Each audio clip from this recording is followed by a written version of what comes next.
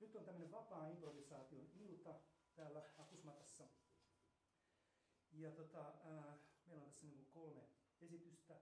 Ensinnä ää, Tuomas Timonen siellä, eli Textor Mans soittaa mielenkiintoisella setillä kirjoituskone solo-instrumenttina tähän alkuun vedon. Sitten mä soitan lyhyen kitarasoolon ja sitten meillä illan päättää Paul Pignon, Sencio